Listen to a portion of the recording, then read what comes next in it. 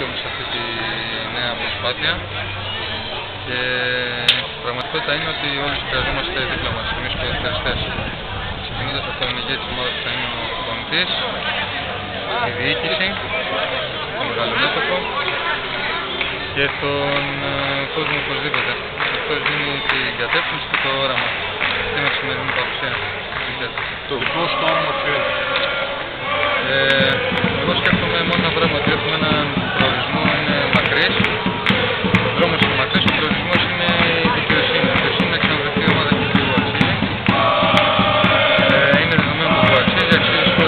πρώτες ψηλές θέσεις της πρώτης κατηγορίας.